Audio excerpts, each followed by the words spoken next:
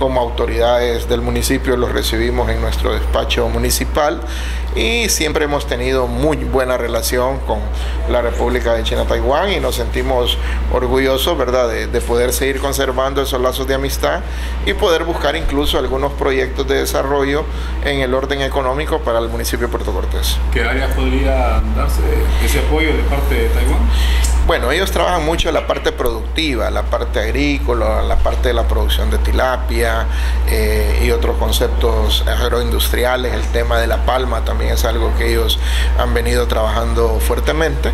Y vamos a presentarles un plan de desarrollo económico que hemos venido elaborando. Eh, ya incluso lo había conversado con, la asistente del señor cónsul, a ver en qué manera ellos nos prestan algún tipo de, ayuda, ya sea asistencia técnica o algún tipo de, apoyo económico, porque muchas veces estos proyectos se llevan a cabo eh, con apoyo económico que también la, comunidad internacional lo brinda.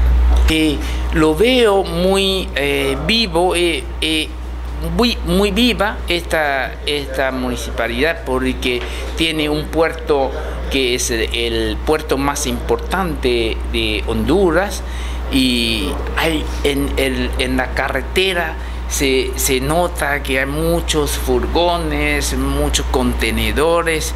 Eso quiere decir esta ciudad es muy, tiene mucha vida comercial y eh, también resalta la importancia de esta ciudad.